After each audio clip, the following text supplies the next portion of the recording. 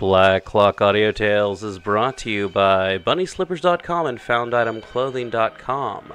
Places to go to find cool slippers and even cooler cult film t shirts. BunnySlippers.com, FoundItemClothing.com. Whether it be zombie slippers or zombie t shirts, they've got you covered. Black Clock Audio Tales is a daily podcast dedicated to giving you spooky stories, gothic stories, science fiction, horror, whatever we can get our hands on. We've been doing themed months. We'll see if that works in the next year, but hey, so far so good. And we've been having experts on, just like Andrew Grace, who will be joining us like last week at the end of this week or the beginning of next week to talk about the Bronte sisters. And this week is part two of Jane Eyre. So, yeah, that's chapters, what, 12 through 26, I think? I don't know. Something like that. Anyway, People's Guide to the Cthulhu Mythos is our monthly show. You can join us for that, where we talk about the Cthulhu Mythos with experts like Ken Hite and Adam Scott Glancy. And also join us for sometime during the month. We always have a cool, cool special from David Heath, whether it be from People's Guide to the Cthulhu Mythos, Black Clock Audio Tales, Dave's Corner of the Universe, will be there. And you can check him out at Dave's Corner of the Universe.com or just Google it. And thank you so much. Remember to rate, review, subscribe wherever you do that. And also check out pgttcm.com. Check out the t shirts and follow us on social media. We are on Facebook, Instagram, YouTube, and all that good stuff. Black Clock Audio Tales, People's Guide to the Cthulhu Mythos. Google it. All right, here we go.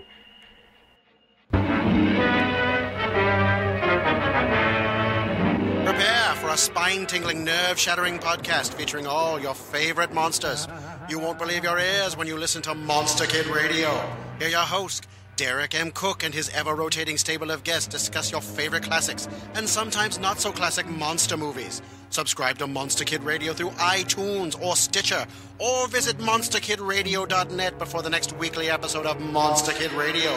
Go through the archives for interviews with Sarah Karloff, Victoria Price, and Joel Hodgson. Listen to discussions about movies like Creature from the Black Lagoon, Island of Terror, and King Kong. And don't forget convention coverage from Monster Bash and the H.P. Lovecraft Film Festival.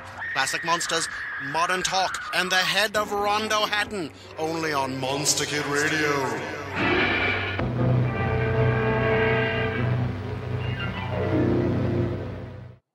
Recording by Elizabeth Klett.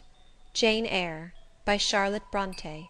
Chapter 27 Some time in the afternoon I raised my head, and looking round and seeing the western sun gilding the sign of its decline on the wall, I asked, What am I to do? But the answer my mind gave, Leave Thornfield at once, was so prompt, so dread, that I stopped my ears. I said I could not bear such words now. That I am not Edward Rochester's bride is the least part of my woe, I alleged; that I have wakened out of most glorious dreams, and found them all void and vain, is a horror I could bear and master; but that I must leave him, decidedly, instantly, entirely, is intolerable; I cannot do it. But then a voice within me averred that I could do it, and foretold that I should do it. I wrestled with my own resolution. I wanted to be weak, that I might avoid the awful passage of further suffering I saw laid out for me; and conscience, turned tyrant, held passion by the throat, told her tauntingly she had yet but dipped her dainty foot in the slough, and swore that, with that arm of iron, he would thrust her down to unsounded depths of agony. "Let me be torn away," then I cried; "let another help me." "No. You shall tear yourself away; none shall help you; you shall yourself pluck out your right eye, yourself cut off your right hand; your heart shall be the victim, and you the priest to transfix it." I rose up suddenly, terror struck at the solitude which so ruthless a judge haunted, at the silence which so awful a voice filled. My head swam as I stood erect. I perceived that I was sickening from excitement and inanition; neither meat nor drink had passed my lips that day, for I had taken no breakfast and with strange pang I now reflected that, long as I had been shut up here, no message had been sent to ask how I was, or to invite me to come down; not even little Adèle had tapped at the door, not even Mrs. Fairfax had sought me. Friends always forget those whom fortune forsakes, I murmured, as I undrew the bolt and passed out. I stumbled over an obstacle; my head was still dizzy, my sight was dim, and my limbs were feeble; I could not soon recover myself. I fell, but not on to the ground; an outstretched arm caught me. I looked up; I was supported by Mr. Rochester, who sat in a chair across my chamber threshold. "You come out at last," he said; "well, I have been waiting for you long, and listening; yet not one movement have I heard, nor one sob. Five minutes more of that death like hush, and I should have forced the lock like a burglar. So you shun me? you shut yourself up and grieve alone? I would rather you had come and upbraided me with vehemence. You are passionate, I expected a scene of some kind. I was prepared for the hot rain of tears, only I wanted them to be shed on my breast. Now a senseless floor has received them, or your drenched handkerchief. But I err; you have not wept at all. I see a white cheek and a faded eye, but no trace of tears. I suppose, then, your heart has been weeping blood." "Well, Jane, not a word of reproach? nothing bitter, nothing poignant? nothing to cut a feeling, or sting a passion? You sit quietly where I have placed you, and regard me with a weary, passive look. Jane, I never meant to wound you thus.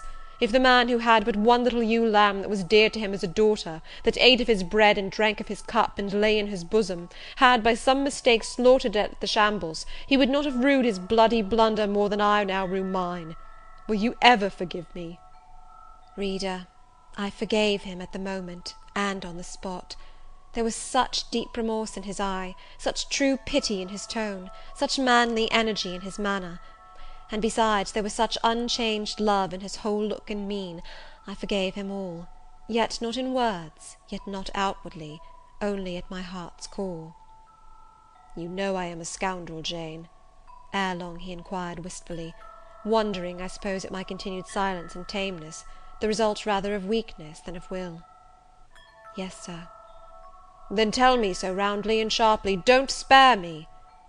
"I cannot; I am sick and tired; I want some water."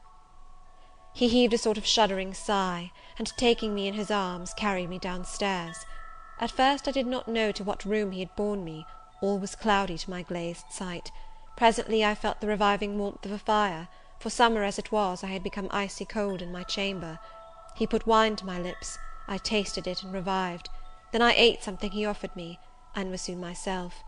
I was in the library, sitting in his chair; he was quite near. If I could go out of life now, without too sharp a pang, it would be well for me, I thought; then I should not have to make the effort of cracking my heart strings, in rending them from among Mr. Rochester's. I must leave him, it appears. I do not want to leave him. I cannot leave him. How are you now, Jane? Much better, Sir. I shall be well soon. Taste the wine again, Jane. I obeyed him; then he put the glass on the table, stood before me, and looked at me attentively. Suddenly he turned away, with an inarticulate exclamation, full of passionate emotion of some kind. He walked fast through the room, and came back. He stooped towards me, as if to kiss me; but I remembered caresses were now forbidden. I turned my face away, and put his aside. "What! how is this?" he exclaimed hastily. "Oh, I know; you won't kiss the husband of Bertha Mason? You consider my arms filled, and my embraces appropriated?" "At any rate, there is neither room nor claim for me, Sir." "Why, Jane? I will spare you the trouble of much talking; I will answer for you, because I have a wife already, you would reply. I guess rightly?" "Yes." "If you think so, you must have a strange opinion of me. You must regard me as a plotting profligate, a base and low rake, who has been simulating disinterested love, in order to draw you into a snare deliberately laid, and strip you of honour, and rob you of self respect. What do you say to that? I see you can say nothing; in the first place, you are faint still, and have enough to do to draw your breath. In the second place, you cannot yet accustom yourself to accuse and revile me; and besides, the floodgates of tears are opened, and they would rush out if you spoke much and you have no desire to expostulate, to upbraid, to make a scene. You are thinking how to act; talking, you consider, is of no use. I know you; I am on my guard." "Sir, I do not wish to act against you," I said, and my unsteady voice warned me to curtail my sentence. "Not in your sense of the word; but in mine you are scheming to destroy me. You have as good as said that I am a married man; as a married man, you will shun me, keep out of my way. Just now you have refused to kiss me. You intend to make yourself a complete stranger to me, to live under this roof only as Adèle's governess. If ever I say a friendly word to you, if ever a friendly feeling inclines you again to me, you will say, that man had nearly made me his mistress, I must be ice and rock to him; and ice and rock you will accordingly become." I cleared and steadied my voice to reply, "All is changed about me, Sir. I must change too; there is no doubt of that and to avoid fluctuations of feeling and continual combats with recollections and associations, there is only one way. Adèle must have a new governess, Sir."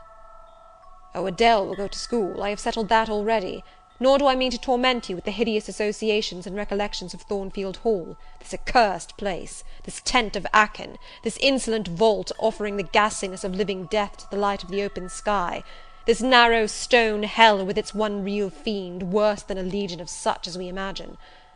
Jane, you shall not stay here, nor will I. I was wrong ever to bring you to Thornfield Hall, knowing as I did how it was haunted. I charged them to conceal from you, before I ever saw you, all knowledge of the curse of the place, merely because I feared Adèle never would have a governess to stay if she knew with what inmates she was housed, and my plans would not permit me to remove the maniac elsewhere. Though I possess an old house, Ferndean Manor, even more retired and hidden than this, where I could have lodged her safely enough, had not a scruple about the unhealthiness of the situation, in the heart of a wood, made my conscience recoil from the arrangement. Probably those damp walls would soon have eased me of her charge; but to each villain his own vice, and mine is not a tendency to indirect assassination, even of what I most hate. Concealing the madwoman's neighbourhood from you, however, was something like covering a child with a cloak, and laying it down near an upas tree; that demon's vicinage is poisoned, and always was. But I'll shut up Thornfield Hall; I'll nail up the front door and board the lower windows; I'll give Mrs. Poole two hundred a year to live here with my wife, as you term that fearful hag.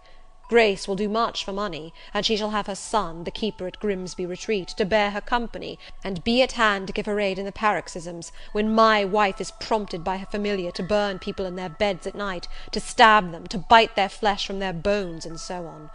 "Sir," I interrupted him, "you are inexorable for that unfortunate lady; you speak of her with hate, with vindictive antipathy. It is cruel; she cannot help being mad." "Jane, my little darling! So I will call you, for so you are. You don't know what you are talking about; you misjudge me again. It is not because she is mad I hate her. If you were mad, do you think I should hate you?" "I do indeed, Sir." "Then you are mistaken, and you know nothing about me, and nothing about the sort of love of which I am capable. Every atom of your flesh is as dear to me as my own; in pain and sickness it would still be dear. Your mind is my treasure, and if it were broken, it would be my treasure still. If you raved, my arms should confine you, and not a strait waistcoat; your grasp, even in fury, would have a charm for me. If you flew at me as wildly as that woman did this morning, I should receive you in an embrace, at least as fond as it would be restrictive. I should not shrink from you with disgust as I did from her. In your quiet moments you would have no watcher and no nurse but me, and I could hang over you with untiring tenderness, though you gave me no smile in return and never weary of gazing into your eyes, though they had no longer a ray of recognition for me. But why do I follow that train of ideas? I was talking of removing you from Thornfield. All you know is prepared for prompt departure; to-morrow you shall go. I only ask you to endure one more night under this roof, Jane, and then farewell to its miseries and terrors for ever. I have a place to repair to, which will be a secure sanctuary from hateful reminiscences, from unwelcome intrusion, even from falsehood and slander. "And take Adèle with you, Sir," I interrupted; "she will be a companion for you." "What do you mean, Jane? I told you I would send Adèle to school; and what do I want with a child for a companion, and not my own child, a French dancer's bastard? Why do you importune me about her? I say, why do you assign Adèle to me for a companion?" "You spoke of a retirement, Sir, and retirement and solitude are dull, too dull for you." "Solitude! solitude!" He reiterated with irritation. "I see I must come to an explanation. I don't know what sphinx like expression is forming in your countenance. You are to share my solitude. Do you understand?" I shook my head. It required a degree of courage, excited as he was becoming, even to risk that mute sign of dissent. He had been walking fast about the room, and he stopped as if suddenly rooted to one spot. He looked at me long and hard; I turned my eyes from him, fixed them on the fire, and tried to assume and maintain a quiet, collected aspect. Now for the hitch in Jane's character," he said at last, speaking more calmly than from his look I had expected him to speak. "The reel of silk has run smoothly enough so far, but I always knew there would come a knot and a puzzle. Here it is. Now for vexation and exasperation and endless trouble. By God, I long to exert a fraction of Samson's strength, and break the entanglement like tow." He recommenced his walk, but soon again stopped, and this time just before me. "Jane, will you hear reason?" He stooped and approached his lips to my ear. "Because if you won't, I'll try violence." His voice was hoarse, his look that of a man who is just about to burst an insufferable bond, and plunge headlong into wild license. I saw that in another moment, and with one impetus of frenzy more, I should be able to do nothing with him. The present, the passing second of time, was all I had in which to control and restrain him; a movement of repulsion, flight, fear, would have sealed my doom, and his. But I was not afraid, not in the least. I felt an inward power, a sense of influence which supported me. The crisis was perilous, but not without its charm; such as the Indian, perhaps, feels when he slips over the rapid in his canoe. I took hold of his clenched hand, loosened the contorted fingers, and said to him soothingly, "Sit down. I'll talk to you as long as you like, and hear all you have to say, whether reasonable or unreasonable." He sat down, but he did not get leave to speak directly. I had been struggling with tears for some time. I had taken great pains to repress them, because I knew he would not like to see me weep. Now, however, I considered it well to let them flow as freely and as long as they liked. If the flood annoyed him, so much the better. So I gave way, and cried heartily. Soon I heard him earnestly entreating me to be composed. I said I could not, while he was in such a passion. "But I am not angry, Jane. I only love you too well; and you had steeled your little pale face with such a resolute frozen look, I could not endure it. Hush now, and wipe your eyes." His softened voice announced that he was subdued; so I, in my turn, became calm. Now he made an effort to rest his head on my shoulder, but I would not permit it. Then he would draw me to him. No. "Jane, Jane," he said, in such an accent of bitter sadness it thrilled along every nerve I had, "you don't love me, then? It was only my station, and the rank of my wife, that you valued. Now that you think me disqualified to become your husband, you recoil from my touch as if I were some toad or ape." These words cut me, yet what could I do or say? I ought probably to have done or said nothing but I was so tortured by a sense of remorse at this hurting his feelings, I could not control the wish to drop balm where I had wounded. "I do love you," I said, "more than ever; but I must not show or indulge the feeling, and this is the last time I must express it." "The last time, Jane? What, do you think you can live with me, and see me daily, and yet, if you still love me, be always cold and distant?" "No, Sir, that I am certain I could not and therefore I see there is but one way; but you will be furious if I mention it." "Oh, mention it! If I storm, you have the art of weeping." "Mr. Rochester, I must leave you." "For how long, Jane? For a few minutes, while you smooth your hair, which is somewhat dishevelled, and bathe your face, which looks feverish?" "I must leave Adèle and Thornfield. I must part with you for my whole life. I must begin a new existence among strange faces and strange scenes." "Of course; I told you I should. I pass over the madness about parting from me. You mean you must become a part of me. As to the new existence, it is all right. You shall yet be my wife. I am not married. You shall be Mrs. Rochester, both virtually and nominally. I shall keep to only you so long as you and I live. You shall go to a place I have in the south of France, a whitewashed villa on the shores of the Mediterranean. There you shall live a happy and guarded and most innocent life. Never fear that I wish to lure you into error, to make you my mistress. Why did you shake your head? Jane, you must be reasonable, or in truth I shall again become frantic." His voice and hand quivered, his large nostrils dilated, his eye blazed; still I dared to speak. "Sir, your wife is living; that is a fact acknowledged this morning by yourself. If I lived with you as you desire, I should then be your mistress. To say otherwise is sophistical, is false." "Jane, I am not a gentle tempered man; you forget that. I am not long enduring; I am not cool and dispassionate. Out of pity to me and yourself, put your finger on my pulse. Last interruption of the show, just a reminder, everyone, that you can help support the show by going to pgttcm.podbean.com and become a patron. Support the show, become a member of our beer cult, our t shirt cult, or even get your ads on the show for a monthly fee. I've just made it that much easier so everyone else can get the same service that Bunny Slippers and Found Item Clothing get. Remember to rate, remember to rate, review, subscribe wherever you rate, review, subscribe. We are on Facebook and uh, Instagram and Twitter, and yeah, we're People's Guide to the Cthulhu Mythos, Black Clock Audio Tales. And you can support the show, keep the lights going, pay the fees that we need to pay so that we can keep this show going every damn day. All right, everyone, back to Jane Eyre. And remember, next week we're going to have some Andrew Grace talking about Jane Eyre. And also, the week after this, uh, we'll be doing Wuthering Heights. And we're going to have Ken Hite talking about Wuthering Heights. So, double heights. All right. I hope you're not afraid of heights. Hey, Jane Eyre, right now. And no other ads for the rest of the show because I love you. Thank you. Bye. Thank you for listening. No more stuff. It just dead air Why, after this, I swear. All right, let's go. Jane, I am not a gentle tempered man. You forget that. I am not long enduring. I am not cool and dispassionate. Out of pity to me and yourself, put your finger on my pulse, feel how it throbs, and beware. He bared his wrist, and offered it to me. The blood was forsaking his cheek and lips; they were growing livid. I was distressed on all hands. To agitate him thus deeply, by a resistance he so abhorred, was cruel; to yield was out of the question. I did what human beings do instinctively when they are driven to utter extremity, looked for aid to one higher than man. The words, "God help me!" Burst involuntarily from my lips. "I am a fool!" cried Mr. Rochester suddenly. "I keep telling her I am not married, and do not explain to her why.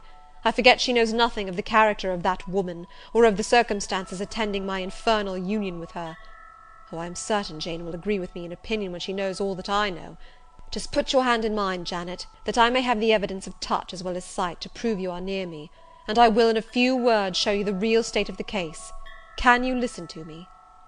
"Yes, Sir, for hours, if you will." "I ask only minutes. Jane, did you ever hear or know that I was not the eldest son of my house, that I once had a brother older than I?" "I remember Mrs. Fairfax told me so once." "And did you ever hear that my father was an avaricious, grasping man?" "I have understood something to that effect." Well, Jane, being so, it was his resolution to keep the property together. He could not bear the idea of dividing his estate and leaving me a fair portion; all he resolved should go to my brother Rowland. Yet as little could he endure that a son of his should be a poor man. I must be provided for by a wealthy marriage. He sought me a partner betimes. Mr. Mason, a West India planter and merchant, was his old acquaintance. He was certain his possessions were real and vast; he made inquiries. Mr. Mason, he found, had a son and daughter, and learned from him that he could and would give the latter a fortune of thirty thousand pounds. That sufficed. When I left college, I was sent out to Jamaica, to espouse a bride already courted for me. My father said nothing about her money, but told me Miss Mason was the boast of Spanish Town for her beauty; and this was no lie. I found her a fine woman in the style of Blanche Ingram, tall, dark, and majestic. Her family wished to secure me because I was of good race, and so did she. They showed her to me in parties, splendidly dressed. I seldom saw her alone, and had very little private conversation with her. She flattered me, and lavishly displayed for my pleasure her charms and accomplishments. All the men in her circle seemed to admire her and envy me. I was dazzled, stimulated, my senses were excited; and being ignorant, raw, and inexperienced, I thought I loved her. There is no folly so besotted that the idiotic rivalries of society, the prurience, the rashness, the blindness of youth will not hurry a man to its commission. Her relatives encouraged me, competitors piqued me, she allured me. Our marriage was achieved almost before I knew where I was. Oh, I have no respect for myself when I think of that act. An agony of inward contempt masters me. I never loved, I never esteemed, I did not even know her. I was not sure of the existence of one virtue in her nature. I had marked neither modesty, nor benevolence, nor candour, nor refinement in her mind or manners. And I married her. Gross, grovelling, mole eyed blockhead that I was! With less sin I might have. but let me remember to whom I am speaking. My bride's mother I had never seen; I understood she was dead. The honeymoon over, I learned my mistake. She was only mad, and shut up in a lunatic asylum. There was a younger brother, too, a complete dumb idiot. The elder one, whom you have seen, and whom I cannot hate, whilst I abhor all his kindred, because he has some grains of affection in his feeble mind, shown in the continued interest he takes in his wretched sister, and also in a dog like attachment he once bore me, will probably be the same state one day. My father and my brother Rowland knew all this, but they thought only of the thirty thousand pounds, and joined in the plot against me.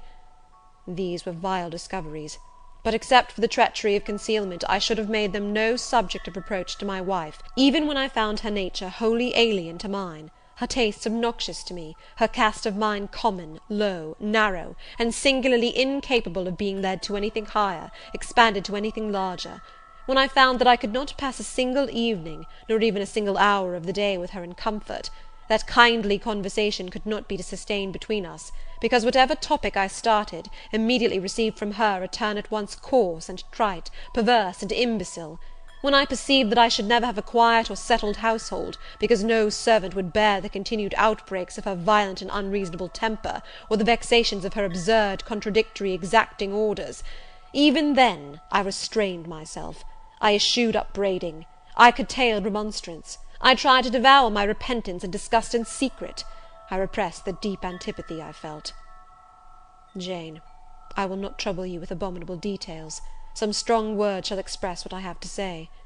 I lived with that woman up stairs four years, and before that time she had tried me indeed; her character ripened and developed with frightful rapidity; her vices sprang up fast and rank; they were so strong only cruelty could check them, and I would not use cruelty. What a pigmy intellect she had, and what giant propensities! How fearful were the curses those propensities entailed on me! Bertha Mason, the true daughter of an infamous mother, dragged me through all the hideous and degrading agonies which must attend a man bound to a wife at once intemperate and unchaste. My brother, in the interval, was dead, and at the end of the four years my father died too. I was rich enough now, yet poor to hideous indigence. A nature the most gross, impure, depraved, I ever saw, was associated with mine, and called by the law and by society a part of me; and I could not rid myself of it by any legal proceedings; for the doctors now discovered that my wife was mad; her excesses had prematurely developed the germs of insanity. Jane, you don't like my narrative; you look almost sick; shall I defer the rest to another day?" "No, Sir, finish it now; I pity you. I do earnestly pity you." Pity, Jane, from some people is a noxious and insulting sort of tribute, which one is justified in hurling back in the teeth of those who offer it; but that is the sort of pity native to callous, selfish hearts; it is a hybrid, egotistical pain at hearing of woes, crossed with ignorant contempt for those who have endured them. But that is not your pity, Jane; it is not the feeling of which your whole face is full at this moment, with which your eyes are now almost overflowing with which your heart is heaving, with which your hand is trembling in mine. Your pity, my darling, is the suffering mother of love; its anguish is the very natal pang of the divine passion. I accept it, Jane. Let the daughter have free advent; my arms wait to receive her." "Now, Sir, proceed. What did you do when you found she was mad?" "Jane, I approached the verge of despair; a remnant of self respect was all that intervened between me and the gulf. In the eyes of the world I was doubtless covered with grimy dishonour, but I resolved to be clean in my own sight; and to the last I repudiated the contamination of her crimes, and wrenched myself from connection with her mental defects. Still society associated my name and person with hers; I yet saw her and heard her daily; something of her breath faugh! mixed with the air I breathed; and besides, I remembered I had once been her husband. That recollection was then, and is now, inexpressibly odious to me. Moreover, I knew that while she lived I could never be the husband of another and better wife; and though five years my senior, her family and her father had lied to me even in the particular of her age, she was likely to live as long as I, being as robust in frame as she was infirm in mind. Thus, at the age of twenty six, I was hopeless. One night I had been awakened by her yells; since the medical men had pronounced her mad, she had, of course, been shut up. It was a fiery West Indian night one of the description that frequently precedes the hurricanes of those climates. Being unable to sleep in bed, I got up and opened the window. The air was like sulphur steams; I could find no refreshment anywhere. Mosquitos came buzzing in and hummed sullenly round the room. The sea, which I could hear from thence, rumbled dull, like an earthquake; black clouds were casting up over it; the moon was setting in the waves, broad and red, like a hot cannon ball.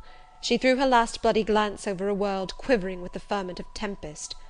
I was physically influenced by the atmosphere and scene, and my ears were filled with the curses the maniac still shrieked out wherein she momentarily mingled my name with such a tone of demon hate, with such language, no professed harlot ever had a fouler vocabulary than she.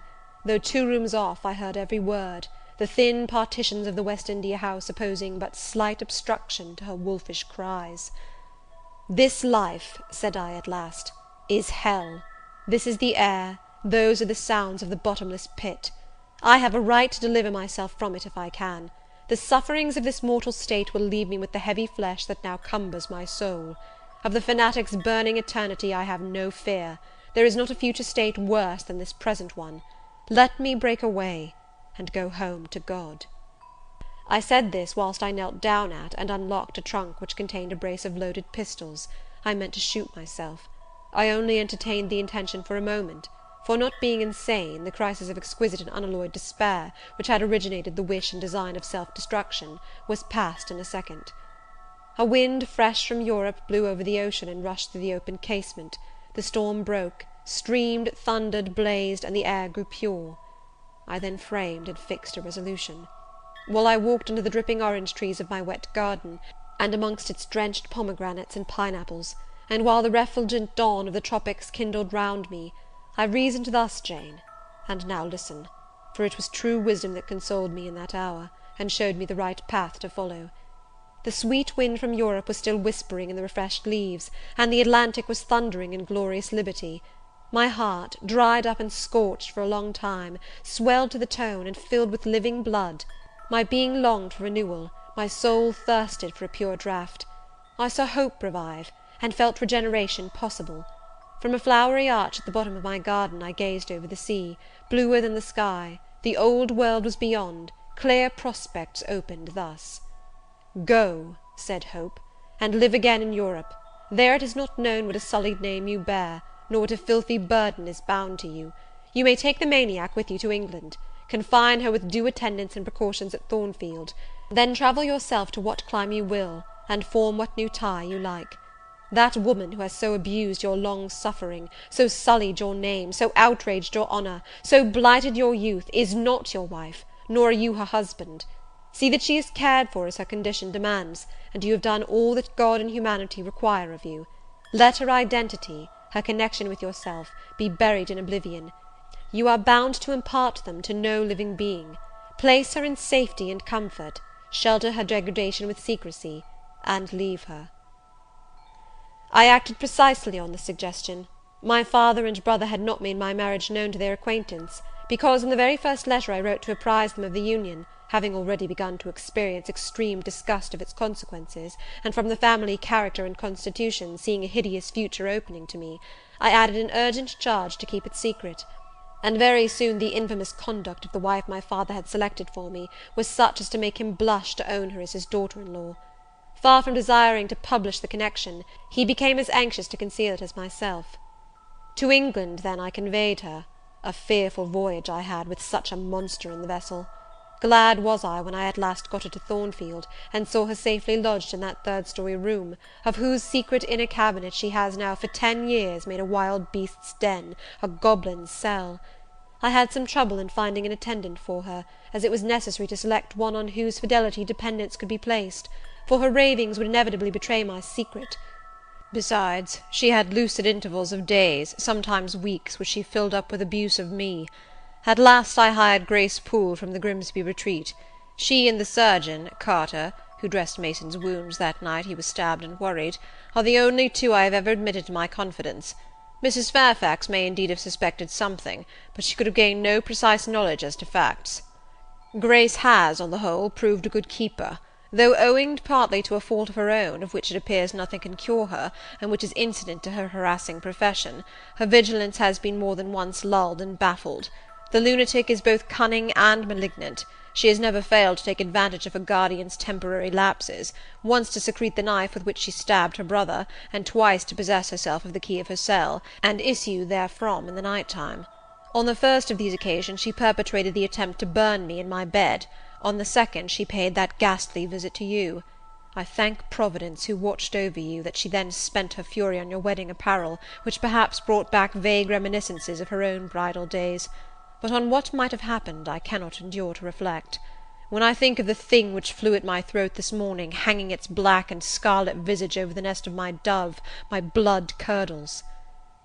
"And what, Sir," I asked, while he paused, "did you do when you had settled her here? Where did you go?" "What did I do, Jane? I transformed myself into a will o' the wisp. Where did I go? I pursued wanderings as wild as those of the March spirit. I sought the Continent, and went devious through all its lands. My fixed desire was to seek and find a good and intelligent woman whom I could love, a contrast to the fury I left at Thornfield." "But you could not marry, Sir?" "I had determined and was convinced that I could and ought. It was not my original intention to deceive as I have deceived you. I meant to tell my tale plainly, and make my proposals openly and it appeared to me so absolutely rational that I should be considered free to love and be loved, I never doubted some woman might be found willing and able to understand my case, and accept me in spite of the curse with which I was burdened." "Well, Sir?" "When you are inquisitive, Jane, you always make me smile. You open your eyes like an eager bird, and make every now and then a restless movement, as if answers in speech did not flow fast enough for you, and you wanted to read the tablet of one's heart. But before I go on, Tell me what you mean by your 'well, Sir.' It is a small phrase very frequent with you, and which many a time has drawn me on and on through interminable talk, I don't very well know why." "I mean, what next? How did you proceed? What came of such an event?" "Precisely. And what do you wish to know now?" "Whether you found any one you liked; whether you asked her to marry you, and what she said." I can tell you whether I found any one I liked, and whether I asked her to marry me; but what she said is yet to be recorded in the book of fate. For ten long years I roved about, living first in one capital, then another; sometimes in St. Petersburg, oftener in Paris, occasionally in Rome, Naples, Florence. Provided with plenty of money, and the passport of an old name, I could choose my own society; no circles were closed against me. I sought my ideal of a woman amongst English ladies, French countesses, Italian signoras, and German Grafinnen. I could not find her. Sometimes for a fleeting moment I thought I caught a glance, heard a tone, beheld a form which announced the realization of my dream; but I was presently undeserved. You are not to suppose that I desired perfection, either of mind or person.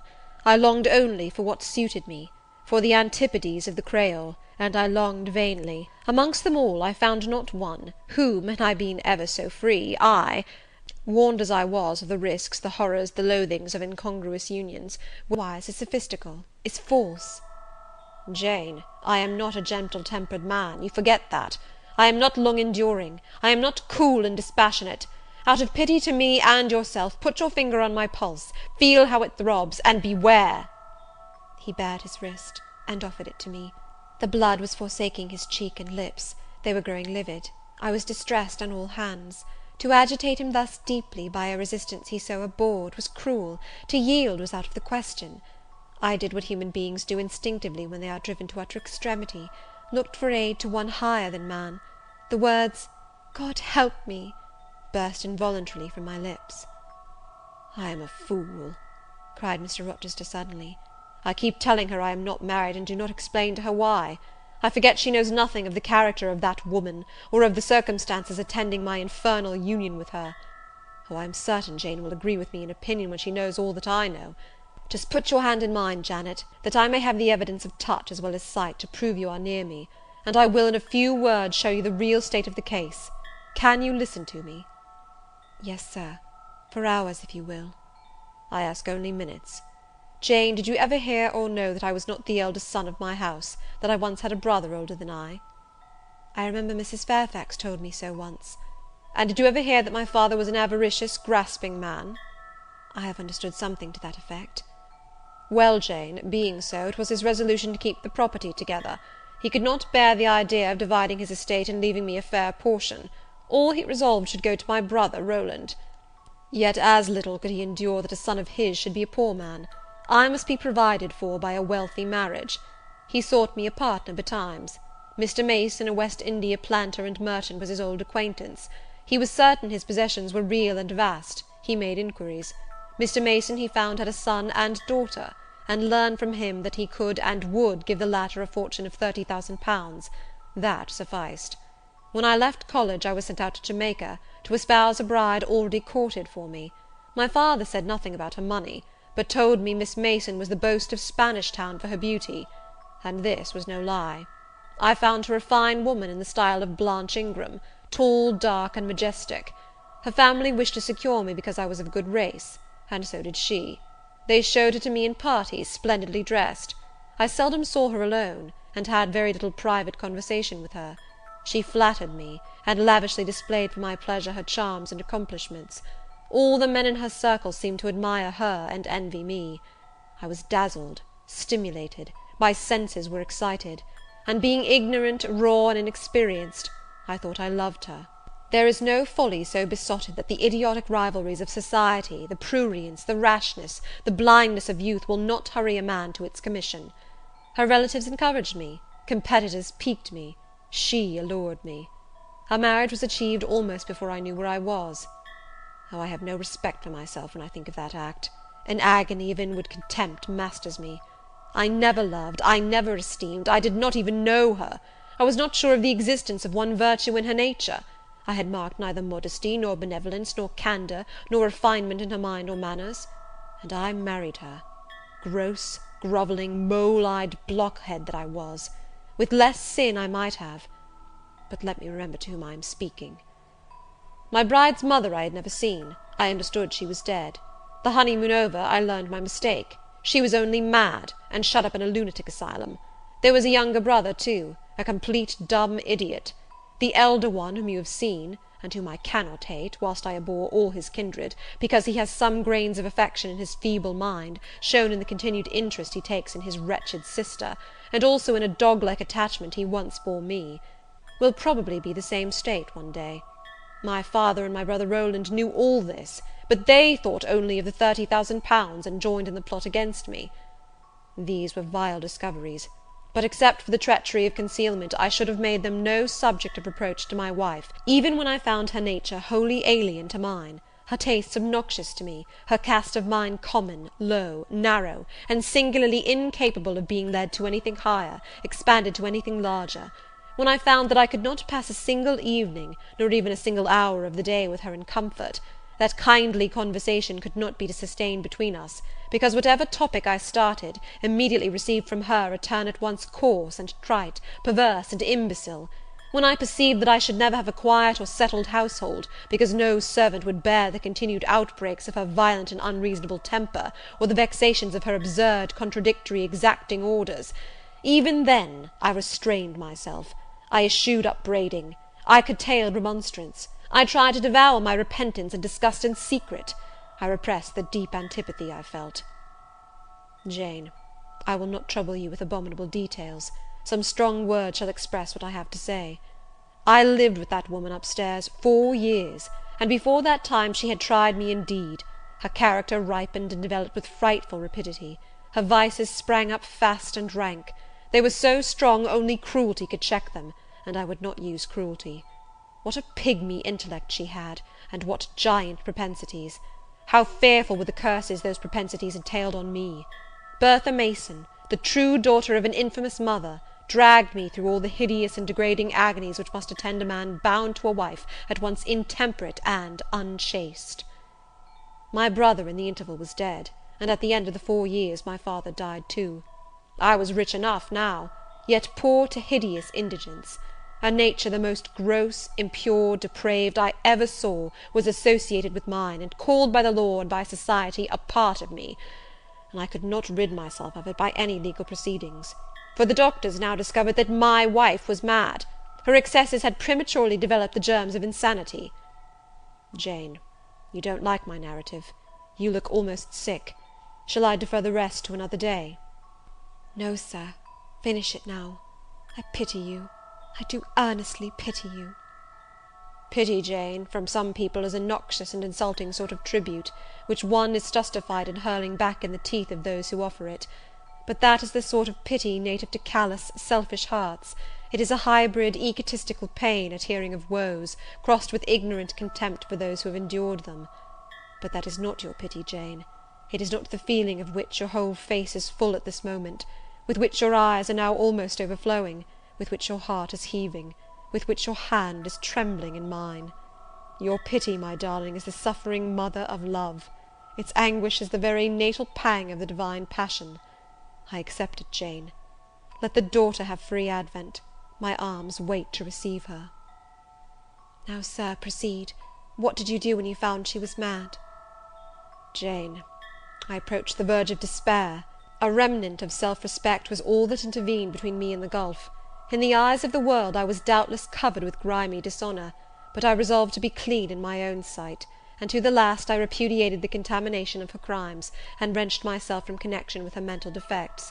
Still society associated my name and person with hers; I yet saw her and heard her daily; something of her breath, faugh! mixed with the air I breathed and besides, I remembered I had once been her husband. That recollection was then, and is now, inexpressibly odious to me. Moreover, I knew that while she lived I could never be the husband of another and better wife; and though five years my senior, her family and her father had lied to me even in the particular of her age, she was likely to live as long as I, being as robust in frame as she was infirm in mind. Thus, at the age of twenty six, I was hopeless. One night I had been awakened by her yells; since the medical men had pronounced her mad, she had, of course, been shut up. It was a fiery West Indian night, one of the description that frequently precedes the hurricanes of those climates. Being unable to sleep in bed, I got up and opened the window. The air was like sulphur steams; I could find no refreshment anywhere. Mosquitos came buzzing in and hummed sullenly round the room. The sea, which I could hear from thence, rumbled dull, like an earthquake. Black clouds were casting up over it; the moon was setting in the waves, broad and red, like a hot cannon ball. She threw her last bloody glance over a world quivering with the ferment of tempest. I was physically influenced by the atmosphere and scene, and my ears were filled with the curses the maniac still shrieked out; wherein she momentarily mingled my name with such a tone of demon hate, with such language, no professed harlot ever had a fouler vocabulary than she; though two rooms off I heard every word the thin partitions of the West India house opposing but slight obstruction to her wolfish cries. "This life," said I, at last, "is hell; this is the air, those are the sounds of the bottomless pit. I have a right to deliver myself from it if I can. The sufferings of this mortal state will leave me with the heavy flesh that now cumbers my soul. Of the fanatic's burning eternity I have no fear; there is not a future state worse than this present one. Let me break away and go home to God." I said this whilst I knelt down at, and unlocked a trunk which contained a brace of loaded pistols. I meant to shoot myself. I only entertained the intention for a moment; for, not being insane, the crisis of exquisite and unalloyed despair, which had originated the wish and design of self destruction, was past in a second. A wind fresh from Europe blew over the ocean and rushed through the open casement; the storm broke, streamed, thundered, blazed, and the air grew pure. I then framed and fixed a resolution. While I walked under the dripping orange trees of my wet garden, and amongst its drenched pomegranates and pine apples, and while the refulgent dawn of the tropics kindled round me, I reasoned thus, Jane, and now listen, for it was true wisdom that consoled me in that hour, and showed me the right path to follow. The sweet wind from Europe was still whispering in the refreshed leaves, and the Atlantic was thundering in glorious liberty. My heart, dried up and scorched for a long time, swelled to the tone, and filled with living blood; my being longed for renewal, my soul thirsted for a pure draught. I saw hope revive, and felt regeneration possible. From a flowery arch at the bottom of my garden I gazed over the sea, bluer than the sky; the old world was beyond, clear prospects opened thus. "Go," said Hope, "and live again in Europe; there it is not known what a sullied name you bear nor what a filthy burden is bound to you. You may take the maniac with you to England; confine her with due attendance and precautions at Thornfield; then travel yourself to what clime you will, and form what new tie you like. That woman who has so abused your long suffering, so sullied your name, so outraged your honour, so blighted your youth, is not your wife, nor are you her husband. See that she is cared for as her condition demands, and you have done all that God and humanity require of you. Let her identity, her connection with yourself, be buried in oblivion. You are bound to impart them to no living being. Place her in safety and comfort, shelter her degradation with secrecy, and leave her. I acted precisely on this suggestion. My father and brother had not made my marriage known to their acquaintance, because, in the very first letter I wrote to apprise them of the union, having already begun to experience extreme disgust of its consequences, and from the family character and constitution seeing a hideous future opening to me, I added an urgent charge to keep it secret; and very soon the infamous conduct of the wife my father had selected for me was such as to make him blush to own her as his daughter in law. Far from desiring to publish the connection, he became as anxious to conceal it as myself. To England, then, I conveyed her; a fearful voyage I had, with such a monster in the vessel. Glad was I when I at last got her to Thornfield, and saw her safely lodged in that third story room, of whose secret inner cabinet she has now for ten years made a wild beast's den, a goblin's cell. I had some trouble in finding an attendant for her, as it was necessary to select one on whose fidelity dependence could be placed, for her ravings would inevitably betray my secret. Besides, she had lucid intervals of days, sometimes weeks, which she filled up with abuse of me. At last I hired Grace Poole from the Grimsby retreat. She and the surgeon, Carter, who dressed Mason's wounds that night he was stabbed and worried, are the only two I have ever admitted to my confidence. Mrs. Fairfax may indeed have suspected something, but she could have gained no precise knowledge as to facts. Grace has, on the whole, proved a good keeper, though owing partly to a fault of her own, of which it appears nothing can cure her, and which is incident to her harassing profession, her vigilance has been more than once lulled and baffled. The lunatic is both cunning and malignant; she has never failed to take advantage of her guardian's temporary lapses, once to secrete the knife with which she stabbed her brother, and twice to possess herself of the key of her cell, and issue therefrom in the night time. On the first of these occasions she perpetrated the attempt to burn me in my bed; on the second she paid that ghastly visit to you. I thank Providence, who watched over you, that she then spent her fury on your wedding apparel, which perhaps brought back vague reminiscences of her own bridal days but on what might have happened I cannot endure to reflect. When I think of the thing which flew at my throat this morning, hanging its black and scarlet visage over the nest of my dove, my blood curdles. "And what, Sir," I asked, while he paused, "did you do when you had settled her here? Where did you go?" "What did I do, Jane? I transformed myself into a will o' the wisp. Where did I go? I pursued wanderings as wild as those of the March spirit. I sought the Continent, and went devious through all its lands. My fixed desire was to seek and find a good and intelligent woman whom I could love, a contrast to the fury I left at Thornfield." "But you could not marry, Sir?" "I had determined and was convinced that I could and ought. It was not my original intention to deceive as I have deceived you. I meant to tell my tale plainly, and make my proposals openly and it appeared to me so absolutely rational that I should be considered free to love and be loved, I never doubted some woman might be found willing and able to understand my case, and accept me in spite of the curse with which I was burdened." "Well, Sir?" "When you are inquisitive, Jane, you always make me smile. You open your eyes like an eager bird, and make every now and then a restless movement, as if answers in speech did not flow fast enough for you, and you wanted to read the tablet of one's heart. But before I go on tell me what you mean by your 'well, Sir.' It is a small phrase very frequent with you, and which many a time has drawn me on and on through interminable talk, I don't very well know why." "I mean, what next? How did you proceed? What came of such an event?" "Precisely. And what do you wish to know now?" "Whether you found any one you liked; whether you asked her to marry you, and what she said." I can tell you whether I found any one I liked, and whether I asked her to marry me; but what she said is yet to be recorded in the book of fate. For ten long years I roved about, living first in one capital, then another; sometimes in St. Petersburg, oftener in Paris, occasionally in Rome, Naples, Florence. Provided with plenty of money, and the passport of an old name, I could choose my own society; no circles were closed against me. I sought my ideal of a woman amongst English ladies, French countesses, Italian signoras, and German Grafinnen. I could not find her.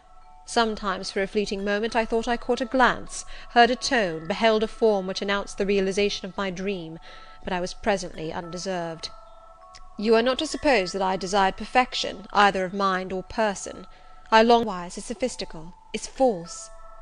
Jane, I am not a gentle tempered man, you forget that.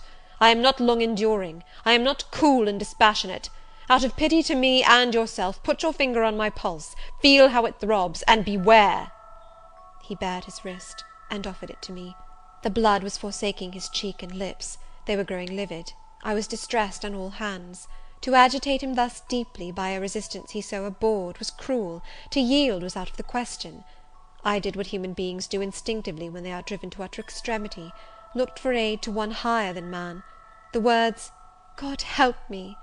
burst involuntarily from my lips. "I am a fool!" cried Mr. Rochester suddenly. "I keep telling her I am not married, and do not explain to her why. I forget she knows nothing of the character of that woman, or of the circumstances attending my infernal union with her. Oh, I am certain Jane will agree with me in opinion when she knows all that I know. Just put your hand in mine, Janet, that I may have the evidence of touch as well as sight, to prove you are near me, and I will in a few words show you the real state of the case. Can you listen to me?" "Yes, Sir, for hours, if you will." "I ask only minutes. Jane, did you ever hear or know that I was not the eldest son of my house, that I once had a brother older than I?" "I remember Mrs. Fairfax told me so once." "And did you ever hear that my father was an avaricious, grasping man?" "I have understood something to that effect." "Well, Jane, being so, it was his resolution to keep the property together. He could not bear the idea of dividing his estate and leaving me a fair portion; all he resolved should go to my brother Rowland. Yet as little could he endure that a son of his should be a poor man. I must be provided for by a wealthy marriage. He sought me a partner betimes. Mr. Mason, a West India planter and merchant, was his old acquaintance. He was certain his possessions were real and vast; he made inquiries. Mr. Mason, he found, had a son and daughter, and learned from him that he could and would give the latter a fortune of thirty thousand pounds. That sufficed. When I left college, I was sent out to Jamaica, to espouse a bride already courted for me. My father said nothing about her money but told me Miss Mason was the boast of Spanish Town for her beauty; and this was no lie. I found her a fine woman in the style of Blanche Ingram, tall, dark, and majestic. Her family wished to secure me because I was of good race, and so did she. They showed her to me in parties, splendidly dressed. I seldom saw her alone, and had very little private conversation with her. She flattered me, and lavishly displayed for my pleasure her charms and accomplishments. All the men in her circle seemed to admire her and envy me. I was dazzled, stimulated, my senses were excited; and being ignorant, raw, and inexperienced, I thought I loved her. There is no folly so besotted that the idiotic rivalries of society, the prurience, the rashness, the blindness of youth will not hurry a man to its commission. Her relatives encouraged me, competitors piqued me, she allured me. Our marriage was achieved almost before I knew where I was. Oh, I have no respect for myself when I think of that act; an agony of inward contempt masters me. I never loved, I never esteemed, I did not even know her; I was not sure of the existence of one virtue in her nature; I had marked neither modesty, nor benevolence, nor candour, nor refinement in her mind or manners; and I married her! gross, grovelling, mole eyed blockhead that I was! with less sin I might have but let me remember to whom I am speaking. My bride's mother I had never seen; I understood she was dead. The honeymoon over, I learned my mistake; she was only mad, and shut up in a lunatic asylum.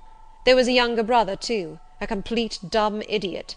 The elder one, whom you have seen, and whom I cannot hate, whilst I abhor all his kindred, because he has some grains of affection in his feeble mind, shown in the continued interest he takes in his wretched sister, and also in a dog like attachment he once bore me, will probably be the same state one day. My father and my brother Rowland knew all this, but they thought only of the thirty thousand pounds, and joined in the plot against me. These were vile discoveries; but except for the treachery of concealment, I should have made them no subject of reproach to my wife, even when I found her nature wholly alien to mine, her tastes obnoxious to me, her cast of mind common, low, narrow, and singularly incapable of being led to anything higher, expanded to anything larger.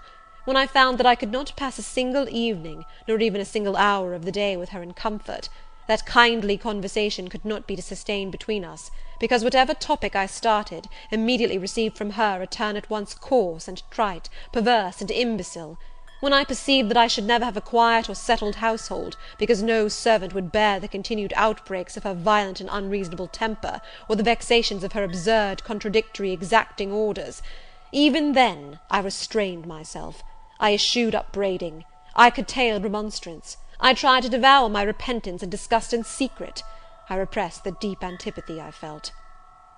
Jane, I will not trouble you with abominable details; some strong words shall express what I have to say.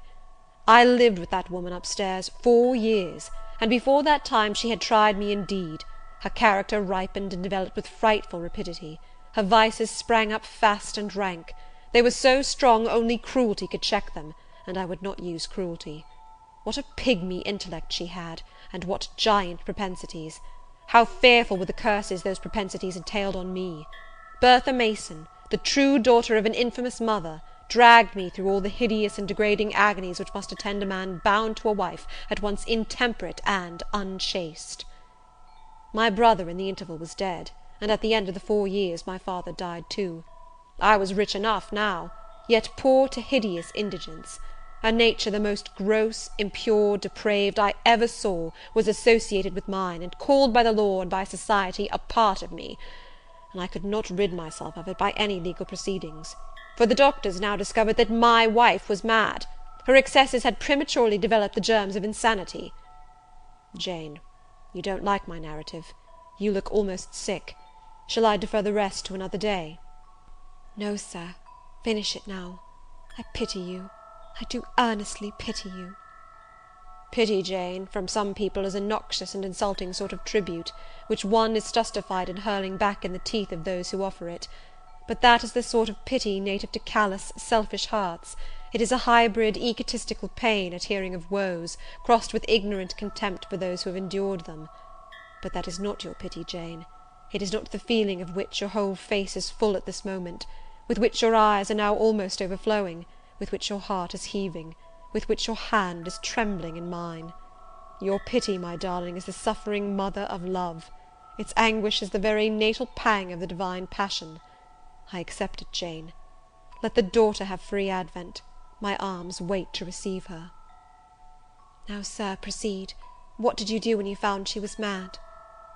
"Jane, I approached the verge of despair; a remnant of self respect was all that intervened between me and the gulf.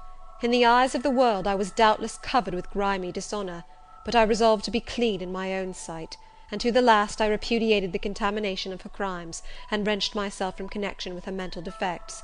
Still society associated my name and person with hers; I yet saw her and heard her daily; something of her breath, faugh!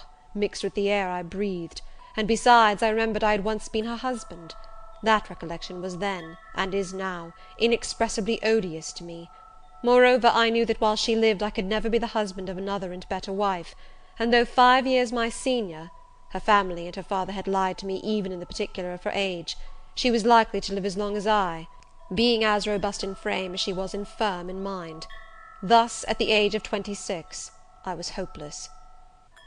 One night I had been awakened by her yells; since the medical men had pronounced her mad, she had, of course, been shut up. It was a fiery West Indian night one of the description that frequently precedes the hurricanes of those climates. Being unable to sleep in bed, I got up and opened the window. The air was like sulphur steams; I could find no refreshment anywhere. Mosquitos came buzzing in and hummed sullenly round the room; the sea, which I could hear from thence, rumbled dull, like an earthquake; black clouds were casting up over it; the moon was setting in the waves, broad and red, like a hot cannon ball.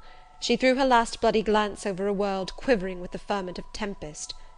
I was physically influenced by the atmosphere and scene, and my ears were filled with the curses the maniac still shrieked out; wherein she momentarily mingled my name with such a tone of demon hate, with such language, no professed harlot ever had a fouler vocabulary than she; though two rooms off, I heard every word, the thin partitions of the West India house opposing but slight obstruction to her wolfish cries. "This life," said I at last, "is hell; this is the air, those are the sounds of the bottomless pit. I have a right to deliver myself from it if I can. The sufferings of this mortal state will leave me with the heavy flesh that now cumbers my soul. Of the fanatic's burning eternity I have no fear; there is not a future state worse than this present one. Let me break away. and go home to God. I said this whilst I knelt down at, and unlocked a trunk which contained a brace of loaded pistols. I meant to shoot myself. I only entertained the intention for a moment; for, not being insane, the crisis of exquisite and unalloyed despair, which had originated the wish and design of self destruction, was past in a second. A wind fresh from Europe blew over the ocean and rushed through the open casement; the storm broke, streamed, thundered, blazed, and the air grew pure. I then framed and fixed a resolution. While I walked under the dripping orange trees of my wet garden, and amongst its drenched pomegranates and pine apples, and while the refulgent dawn of the tropics kindled round me, I reasoned thus, Jane, and now listen, for it was true wisdom that consoled me in that hour, and showed me the right path to follow. The sweet wind from Europe was still whispering in the refreshed leaves, and the Atlantic was thundering in glorious liberty. My heart, dried up and scorched for a long time, swelled to the tone, and filled with living blood. My being longed for renewal, my soul thirsted for a pure draught. I saw hope revive, and felt regeneration possible. From a flowery arch at the bottom of my garden I gazed over the sea, bluer than the sky; the old world was beyond, clear prospects opened thus. "Go," said Hope, "and live again in Europe; there it is not known what a sullied name you bear, nor what a filthy burden is bound to you. You may take the maniac with you to England; confine her with due attendance and precautions at Thornfield; then travel yourself to what clime you will, and form what new tie you like. That woman, who has so abused your long suffering, so sullied your name, so outraged your honour, so blighted your youth, is not your wife, nor are you her husband. See that she is cared for as her condition demands, and you have done all that God and humanity require of you. Let her identity, her connection with yourself, be buried in oblivion. You are bound to impart them to no living being. Place her in safety and comfort, shelter her degradation with secrecy, and leave her. I acted precisely on this suggestion.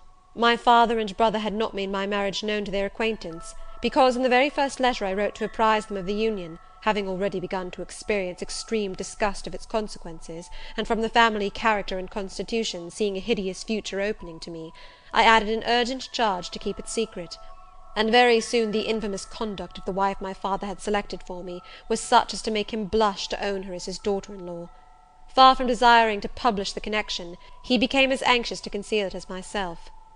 To England, then, I conveyed her; a fearful voyage I had, with such a monster in the vessel. Glad was I when I at last got her to Thornfield, and saw her safely lodged in that third story room, of whose secret inner cabinet she has now for ten years made a wild beast's den, a goblin's cell. I had some trouble in finding an attendant for her, as it was necessary to select one on whose fidelity dependence could be placed, for her ravings would inevitably betray my secret. Besides, she had lucid intervals of days, sometimes weeks, which she filled up with abuse of me. At last I hired Grace Poole from the Grimsby retreat. She and the surgeon, Carter, who dressed Mason's wounds that night he was stabbed and worried, are the only two I have ever admitted to my confidence. Mrs. Fairfax may indeed have suspected something, but she could have gained no precise knowledge as to facts. Grace has, on the whole, proved a good keeper, though owing partly to a fault of her own, of which it appears nothing can cure her, and which is incident to her harassing profession, her vigilance has been more than once lulled and baffled. The lunatic is both cunning and malignant; she has never failed to take advantage of her guardian's temporary lapses, once to secrete the knife with which she stabbed her brother, and twice to possess herself of the key of her cell, and issue therefrom in the night time. On the first of these occasions she perpetrated the attempt to burn me in my bed; on the second she paid that ghastly visit to you. I thank Providence, who watched over you, that she then spent her fury on your wedding apparel, which perhaps brought back vague reminiscences of her own bridal days but on what might have happened I cannot endure to reflect. When I think of the thing which flew at my throat this morning, hanging its black and scarlet visage over the nest of my dove, my blood curdles." "And what, Sir," I asked, while he paused, "did you do when you had settled her here? Where did you go?" "What did I do, Jane? I transformed myself into a will o' the wisp. Where did I go? I pursued wanderings as wild as those of the March spirit. I sought the Continent, and went devious through all its lands. My fixed desire was to seek and find a good and intelligent woman whom I could love, a contrast to the fury I left at Thornfield." "But you could not marry, Sir?" "I had determined and was convinced that I could and ought. It was not my original intention to deceive as I have deceived you. I meant to tell my tale plainly, and make my proposals openly; and it appeared to me so absolutely rational that I should be considered free to love and be loved, I never doubted some woman might be found willing and able to understand my case, and accept me in spite of the curse with which I was burdened." "Well, sir?" "When you are inquisitive, Jane, you always make me smile. You open your eyes like an eager bird, and make every now and then a restless movement, as if answers in speech did not flow fast enough for you, and you wanted to read the tablet of one's heart. But before I go on, tell me what you mean by your 'well, sir.' It is a small phrase very frequent with you, and which many a time has drawn me on and on through interminable talk, I don't very well know why." "I mean, what next? How did you proceed? What came of such an event?" "Precisely. And what do you wish to know now?" "Whether you found any one you liked; whether you asked her to marry you; and what she said." "I can tell you whether I found any one I liked, and whether I asked her to marry me; but what she said is yet to be recorded in the book of fate. For ten long years I roved about, living first in one capital, then another; sometimes in St. Petersburg, oftener in Paris, occasionally in Rome, Naples, Florence. Provided with plenty of money, and the passport of an old name, I could choose my own society; no circles were closed against me. I sought my ideal of a woman amongst English ladies, French countesses, Italian signoras, and German Grafinnen. I could not find her. Sometimes for a fleeting moment I thought I caught a glance, heard a tone, beheld a form which announced the realization of my dream; but I was presently undeserved. You are not to suppose that I desired perfection, either of mind or person. I longed only for what suited me, for the antipodes of the Creole, and I longed vainly. Amongst them all I found not one, whom, had I been ever so free, I warned as I was of the risks, the horrors, the loathings of incongruous unions, would have asked to marry me. Disappointment made me reckless. I tried dissipation, never wise is sophistical, is false." "Jane, I am not a gentle tempered man; you forget that. I am not long enduring; I am not cool and dispassionate. Out of pity to me and yourself, put your finger on my pulse, feel how it throbs, and beware!" He bared his wrist, and offered it to me. The blood was forsaking his cheek and lips; they were growing livid; I was distressed on all hands. To agitate him thus deeply, by a resistance he so abhorred, was cruel; to yield was out of the question. I did what human beings do instinctively when they are driven to utter extremity looked for aid to one higher than man. The words, "God help me!" Burst involuntarily from my lips. "I am a fool!" cried Mr. Rochester suddenly. "I keep telling her I am not married, and do not explain to her why. I forget she knows nothing of the character of that woman, or of the circumstances attending my infernal union with her. Oh, I am certain Jane will agree with me in opinion when she knows all that I know. Just put your hand in mine, Janet, that I may have the evidence of touch as well as sight, to prove you are near me; and I will, in a few words, show you the real state of the case. Can you listen to me?" "Yes, Sir; for hours, if you will."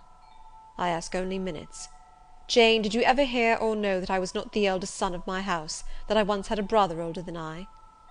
"I remember Mrs. Fairfax told me so once." "And did you ever hear that my father was an avaricious, grasping man?" "I have understood something to that effect." Well, Jane, being so, it was his resolution to keep the property together. He could not bear the idea of dividing his estate and leaving me a fair portion; all he resolved should go to my brother Rowland. Yet as little could he endure that a son of his should be a poor man. I must be provided for by a wealthy marriage. He sought me a partner betimes. Mr. Mason, a West India planter and merchant, was his old acquaintance. He was certain his possessions were real and vast; he made inquiries. Mr. Mason, he found, had a son and daughter, and learned from him that he could and would give the latter a fortune of thirty thousand pounds. That sufficed. When I left college, I was sent out to Jamaica, to espouse a bride already courted for me. My father said nothing about her money, but told me Miss Mason was the boast of Spanish Town for her beauty; and this was no lie. I found her a fine woman in the style of Blanche Ingram, tall, dark, and majestic. Her family wished to secure me because I was of good race and so did she. They showed her to me in parties, splendidly dressed. I seldom saw her alone, and had very little private conversation with her.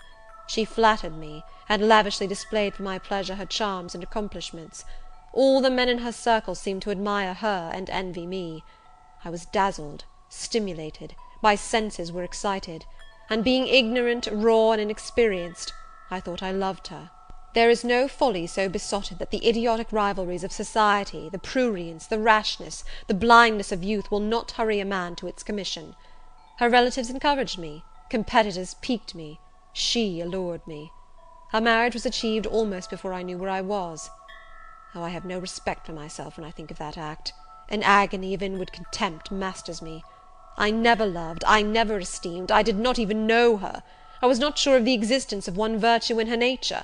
I had marked neither modesty, nor benevolence, nor candour, nor refinement in her mind or manners; and I married her, gross, grovelling, mole eyed blockhead that I was! With less sin I might have but let me remember to whom I am speaking. My bride's mother I had never seen; I understood she was dead. The honeymoon over, I learned my mistake; she was only mad, and shut up in a lunatic asylum. There was a younger brother, too, a complete dumb idiot. The elder one, whom you have seen, and whom I cannot hate, whilst I abhor all his kindred, because he has some grains of affection in his feeble mind, shown in the continued interest he takes in his wretched sister, and also in a dog like attachment he once bore me, will probably be the same state one day. My father and my brother Rowland knew all this, but they thought only of the thirty thousand pounds, and joined in the plot against me. These were vile discoveries but except for the treachery of concealment, I should have made them no subject of reproach to my wife, even when I found her nature wholly alien to mine, her tastes obnoxious to me, her cast of mind common, low, narrow, and singularly incapable of being led to anything higher, expanded to anything larger; when I found that I could not pass a single evening, nor even a single hour of the day with her in comfort that kindly conversation could not be sustained between us, because whatever topic I started, immediately received from her a turn at once coarse and trite, perverse and imbecile; when I perceived that I should never have a quiet or settled household, because no servant would bear the continued outbreaks of her violent and unreasonable temper, or the vexations of her absurd, contradictory, exacting orders, even then I restrained myself, I eschewed upbraiding, I curtailed remonstrance. I tried to devour my repentance and disgust in secret; I repressed the deep antipathy I felt. Jane, I will not trouble you with abominable details; some strong words shall express what I have to say. I lived with that woman up stairs four years, and before that time she had tried me indeed; her character ripened and developed with frightful rapidity; her vices sprang up fast and rank; they were so strong only cruelty could check them, and I would not use cruelty. What a pigmy intellect she had, and what giant propensities! How fearful were the curses those propensities entailed on me! Bertha Mason, the true daughter of an infamous mother, dragged me through all the hideous and degrading agonies which must attend a man bound to a wife at once intemperate and unchaste. My brother, in the interval, was dead, and at the end of the four years my father died too. I was rich enough now, yet poor to hideous indigence. A nature the most gross, impure, depraved, I ever saw, was associated with mine, and called by the law and by society a part of me; and I could not rid myself of it by any legal proceedings; for the doctors now discovered that my wife was mad; her excesses had prematurely developed the germs of insanity. Jane, you don't like my narrative; you look almost sick; shall I defer the rest to another day?" "No, Sir, finish it now; I pity you. I do earnestly pity you." Pity, Jane, from some people is a noxious and insulting sort of tribute, which one is justified in hurling back in the teeth of those who offer it; but that is the sort of pity native to callous, selfish hearts; it is a hybrid, egotistical pain at hearing of woes, crossed with ignorant contempt for those who have endured them. But that is not your pity, Jane; it is not the feeling of which your whole face is full at this moment, with which your eyes are now almost overflowing with which your heart is heaving, with which your hand is trembling in mine. Your pity, my darling, is the suffering mother of love; its anguish is the very natal pang of the divine passion.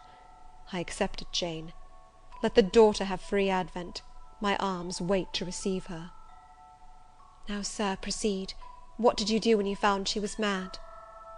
"Jane, I approached the verge of despair; a remnant of self respect was all that intervened between me and the gulf. In the eyes of the world I was doubtless covered with grimy dishonour, but I resolved to be clean in my own sight, and to the last I repudiated the contamination of her crimes, and wrenched myself from connection with her mental defects. Still society associated my name and person with hers; I yet saw her and heard her daily; something of her breath faugh! mixed with the air I breathed; and besides, I remembered I had once been her husband. That recollection was then, and is now, inexpressibly odious to me. Moreover, I knew that while she lived I could never be the husband of another and better wife; and though five years my senior, her family and her father had lied to me even in the particular of her age, she was likely to live as long as I, being as robust in frame as she was infirm in mind. Thus, at the age of twenty six, I was hopeless. One night I had been awakened by her yells. Since the medical men had pronounced her mad, she had, of course, been shut up. It was a fiery West Indian night, one of the description that frequently precedes the hurricanes of those climates. Being unable to sleep in bed, I got up and opened the window. The air was like sulphur steams; I could find no refreshment anywhere.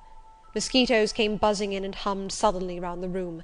The sea, which I could hear from thence, rumbled dull, like an earthquake; black clouds were casting up over it; the moon was setting in the waves, broad and red, like a hot cannon ball. She threw her last bloody glance over a world quivering with the ferment of tempest. I was physically influenced by the atmosphere and scene, and my ears were filled with the curses the maniac still shrieked out; wherein she momentarily mingled my name with such a tone of demon hate, with such language, no professed harlot ever had a fouler vocabulary than she. Though two rooms off, I heard every word, the thin partitions of the West India house opposing but slight obstruction to her wolfish cries. "This life," said I, at last, "is hell; this is the air, those are the sounds of the bottomless pit. I have a right to deliver myself from it if I can. The sufferings of this mortal state will leave me with the heavy flesh that now cumbers my soul. Of the fanatic's burning eternity I have no fear; there is not a future state worse than this present one. Let me break away, and go home to God." I said this whilst I knelt down at, and unlocked a trunk which contained a brace of loaded pistols. I meant to shoot myself. I only entertained the intention for a moment; for, not being insane, the crisis of exquisite and unalloyed despair, which had originated the wish and design of self destruction, was past in a second. A wind fresh from Europe blew over the ocean, and rushed through the open casement; the storm broke, streamed, thundered, blazed, and the air grew pure. I then framed and fixed a resolution. While I walked under the dripping orange trees of my wet garden, and amongst its drenched pomegranates and pine apples, and while the refulgent dawn of the tropics kindled round me, I reasoned thus, Jane, and now listen, for it was true wisdom that consoled me in that hour, and showed me the right path to follow. The sweet wind from Europe was still whispering in the refreshed leaves, and the Atlantic was thundering in glorious liberty. My heart, dried up and scorched for a long time, swelled to the tone, and filled with living blood; my being longed for renewal, my soul thirsted for a pure draught. I saw hope revive, and felt regeneration possible. From a flowery arch at the bottom of my garden I gazed over the sea, bluer than the sky; the old world was beyond, clear prospects opened thus. "Go," said Hope, "and live again in Europe; there it is not known what a sullied name you bear, nor what a filthy burden is bound to you. You may take the maniac with you to England; confine her with due attendance and precautions at Thornfield; then travel yourself to what clime you will, and form what new tie you like. That woman, who has so abused your long suffering, so sullied your name, so outraged your honour, so blighted your youth, is not your wife, nor are you her husband. See that she is cared for as her condition demands, and you have done all that God and humanity require of you.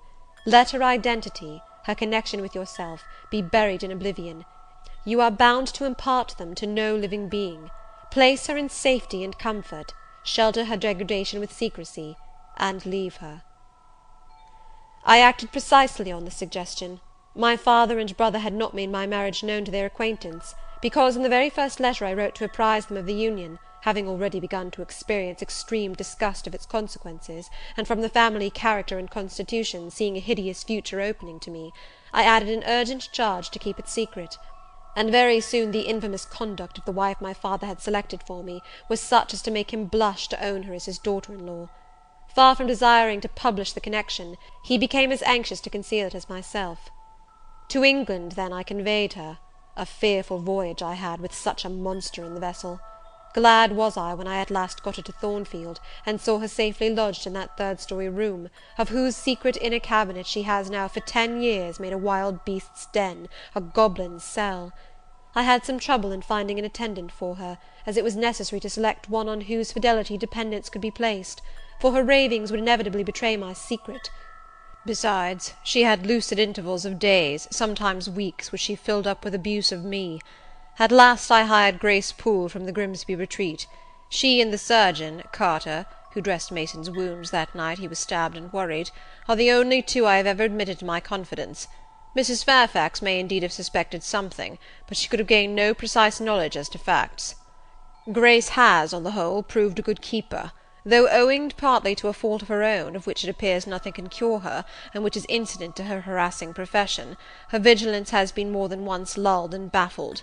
The lunatic is both cunning and malignant; she has never failed to take advantage of her guardian's temporary lapses, once to secrete the knife with which she stabbed her brother, and twice to possess herself of the key of her cell, and issue therefrom in the night time.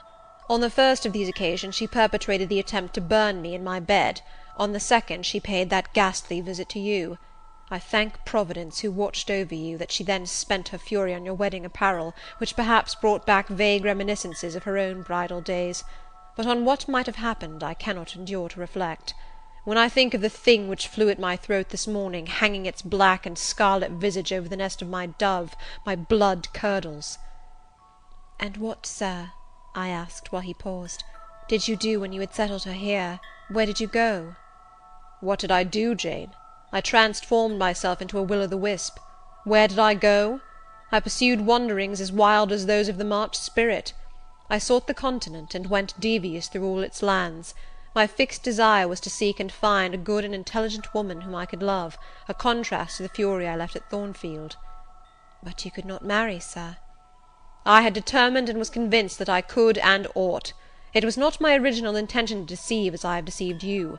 I meant to tell my tale plainly, and make my proposals openly and it appeared to me so absolutely rational that I should be considered free to love and be loved, I never doubted some woman might be found willing and able to understand my case, and accept me in spite of the curse with which I was burdened."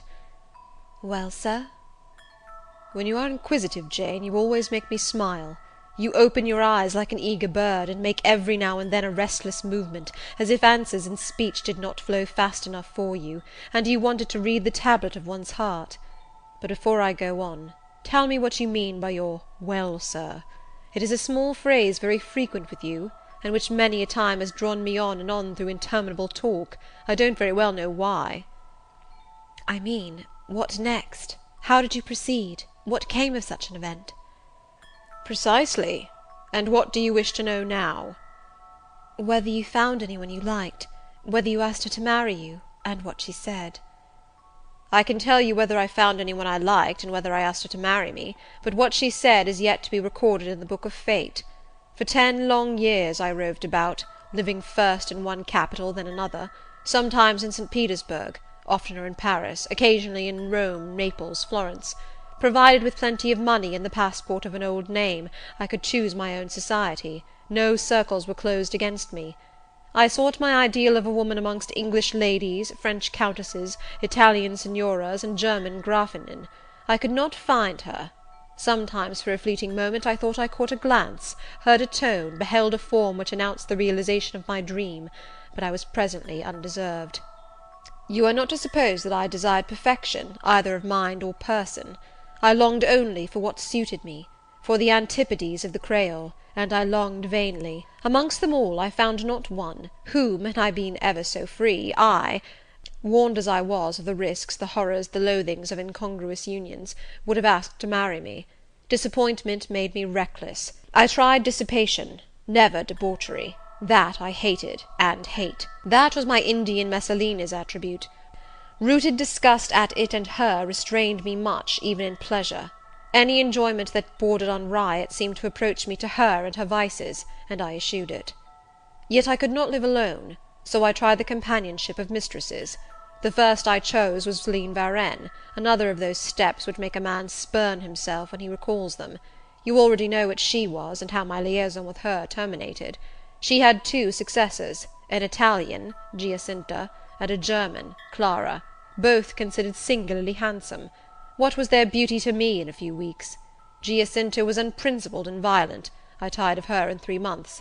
Clara was honest and quiet, but heavy, mindless, and unimpressible, not one whit to my taste. I was glad to give her a sufficient sum to set her up in a good line of business, and so get decently rid of her. But, Jane, I see by your face you are not forming a very favourable opinion of me just now. You think me an unfeeling, loose principled rake, don't you?" "I don't like you so well as I have done sometimes, indeed, sir. Did it not seem to you in the least wrong to live in that way, first with one mistress and then another? You talk of it as a mere matter of course." "It was with me, and I did not like it. It was a grovelling fashion of existence; I should never like to return to it. Hiring a mistress is the next worst thing to buying a slave both are often by nature, and always by position, inferior; and to live familiarly with inferiors is degrading. I now hate the recollection of the time I passed with Céline, Giacinta, and Clara." I felt the truth of those words, and I drew from them the certain inference, that if I were so far to forget myself and all the teaching that had ever been instilled into me, as, under any pretext, with any justification, through any temptation, to become the successor of these poor girls he would one day regard me with the same feeling which now in his mind desecrated their memory. I did not give utterance to this conviction; it was enough to feel it. I impressed it on my heart, that it might remain there to serve me as aid in the time of trial. "Now, Jane, why don't you say, well, Sir?" "I have not done. You are looking grave; you disapprove of me still, I see. But let me come to the point. Last January, rid of all mistresses, in a harsh, bitter frame of mind, the result of a useless, roving, lonely life, corroded with disappointment, sourly disposed against all men, and especially against all womankind, for I began to regard the notion of an intellectual, faithful, loving woman as a mere dream, recalled by business, I came back to England. On a frosty winter afternoon I rode in sight of Thornfield Hall; a horrid spot! I expected no peace, no pleasure there. On a stile in Hay Lane I saw a quiet little figure sitting by itself. I passed it as negligently as I did the pollard willow opposite to it. I had no presentiment of what it would be to me, no inward warning that the arbitress of my life, my genius for good or evil, waited there in humble guise. I did not know it even when, on the occasion of Mesrour's accident, it came up and gravely offered me help. Childish and slender creature! It seemed as if a linnet had hopped to my foot and proposed to bear me on its tiny wing. I was surly, but the thing would not go. It stood by me with strange perseverance, and looked and spoke with a sort of authority. I must be aided, and by that hand; and aided I was. When once I had pressed the frail shoulder, something new, a fresh sap and sense, stole into my frame.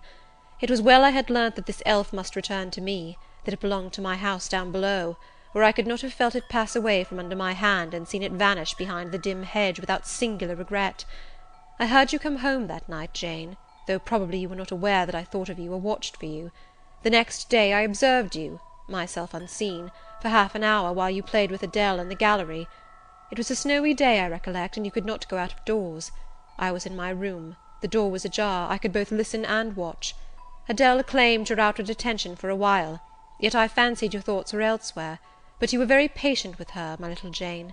You talked to her and amused her a long time. When at last she left you, you lapsed at once into deep reverie. You betook yourself slowly to pace the gallery; now and then, in passing a casement, you glanced out at the thick falling snow. You listened to the sobbing wind, and again you paced gently on, and dreamed. I think those day visions were not dark. There was a pleasurable illumination in your eye occasionally, a soft excitement in your aspect, which told of no bitter, bilious, hypochondriac brooding. Your look revealed rather the sweet musings of youth when its spirit follows on willing wings the flight of hope, up and on to an ideal heaven. The voice of Mrs. Fairfax, speaking to a servant in the hall, wakened you. And how curiously you smiled to and at yourself, Janet! There was much sense in your smile; it was very shrewd, and seemed to make light of your own abstraction. It seemed to say, my fine visions are all very well, but I must not forget they are absolutely unreal. I have a rosy sky and green flowery Eden in my brain, but without, I am perfectly aware, lies at my feet a rough tract to travel, and around me gather black tempests to encounter. You ran down stairs and demanded of Mrs. Fairfax some occupation; the weekly house accounts to make up, or something of that sort, I think it was.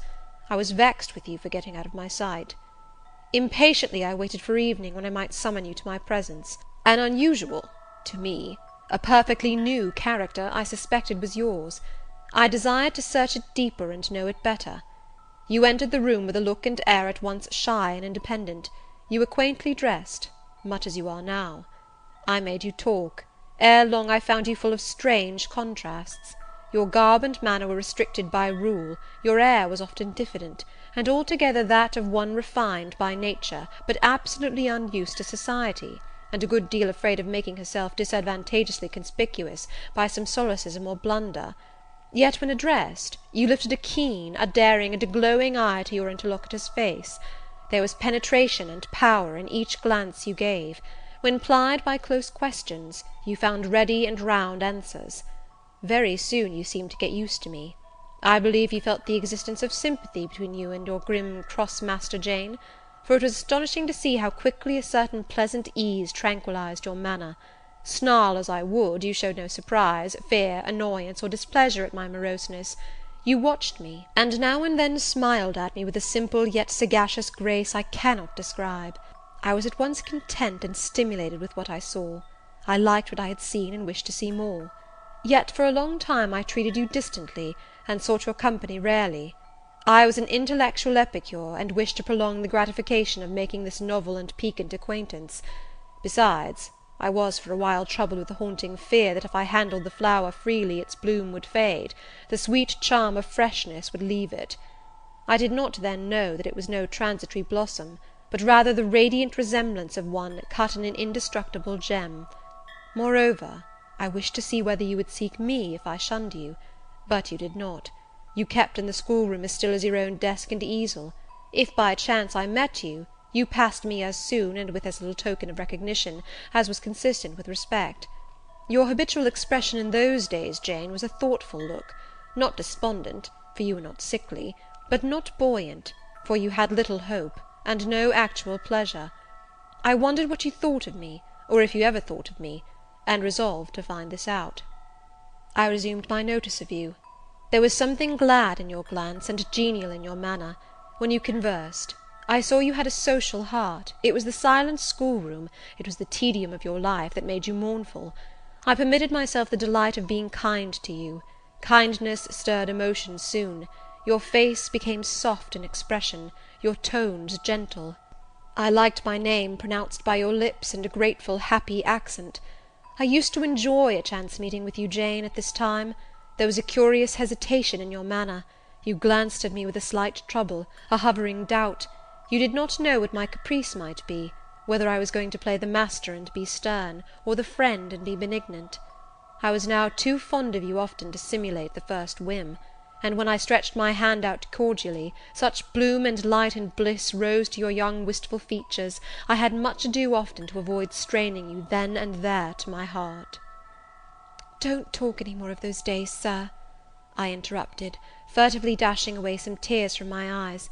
His language was torture to me; for I knew what I must do, and do soon, and all these reminiscences and these revelations of his feelings only made my work more difficult. "No, Jane," he returned. "What necessity is there to dwell on the past, when the present is so much surer, the future so much brighter?"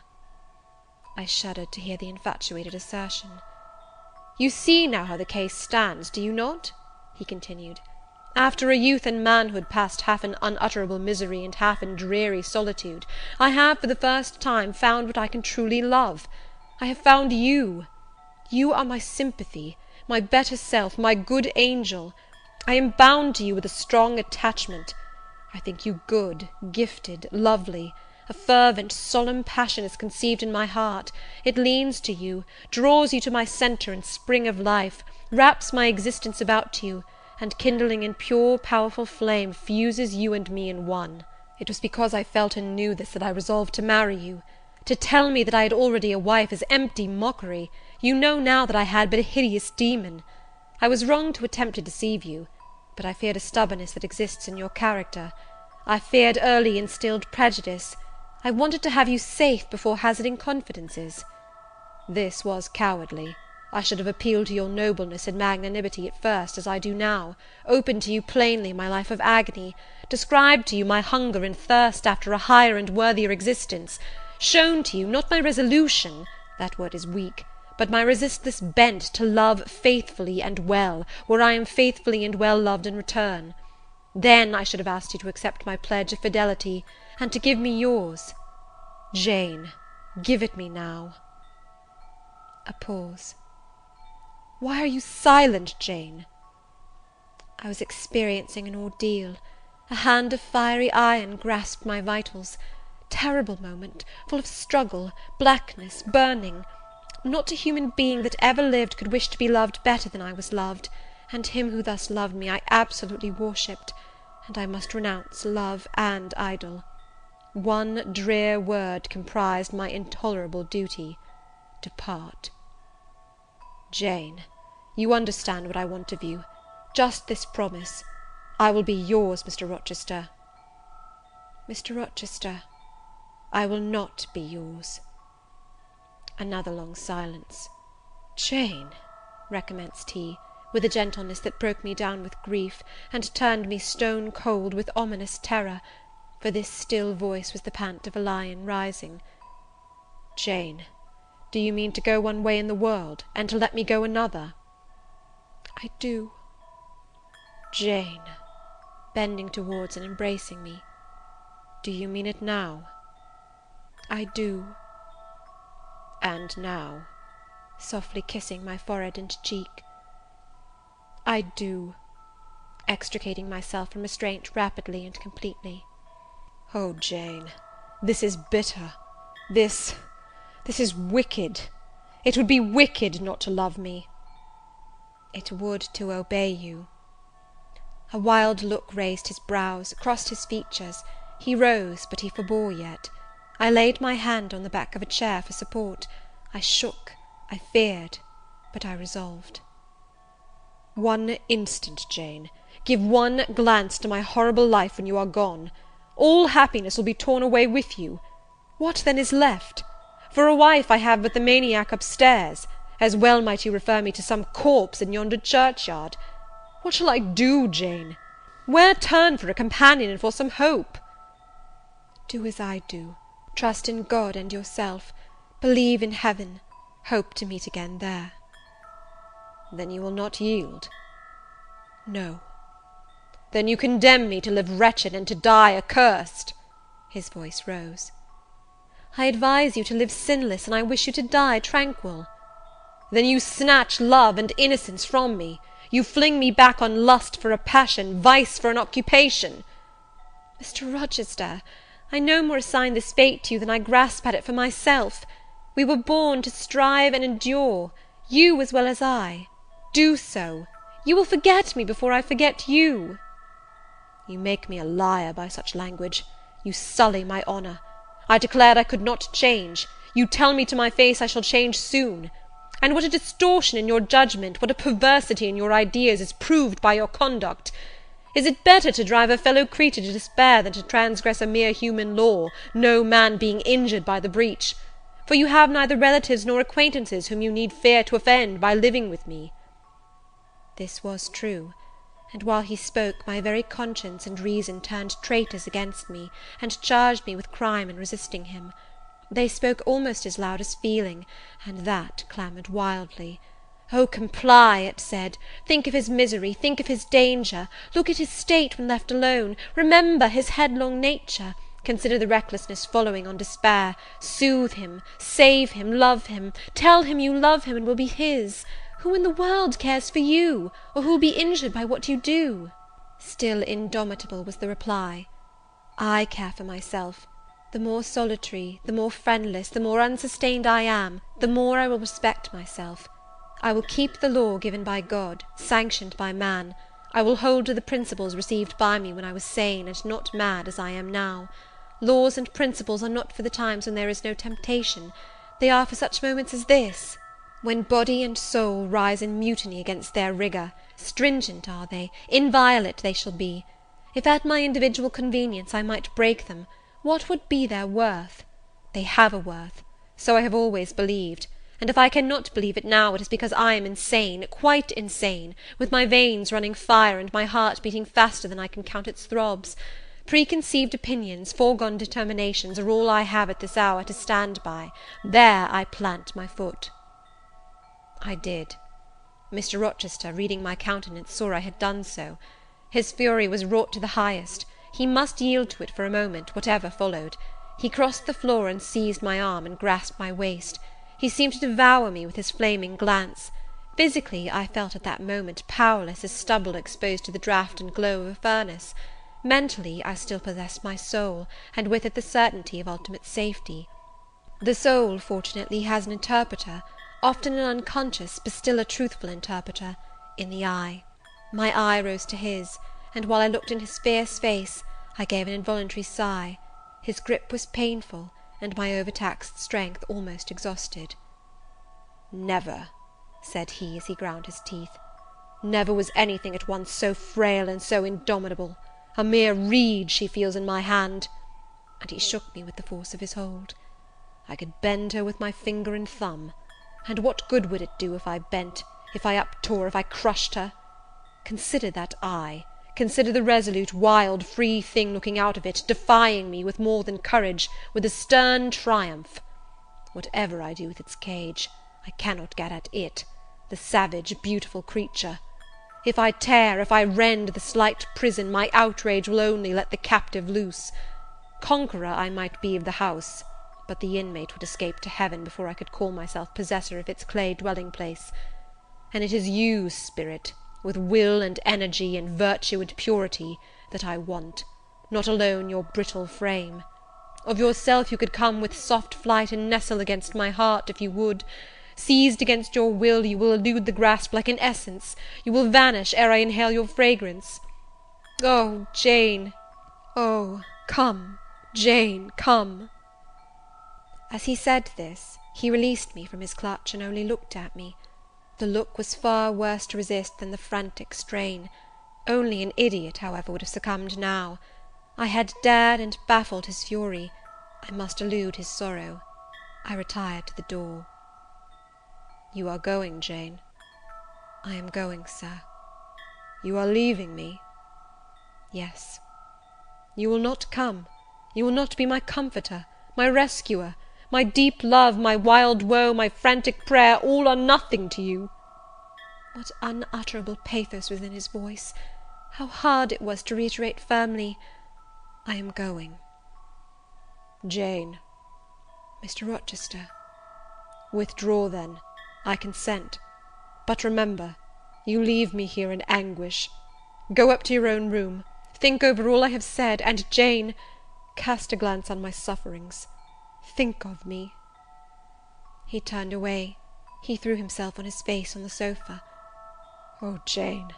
my hope, my love, my life!" broke in anguish from his lips.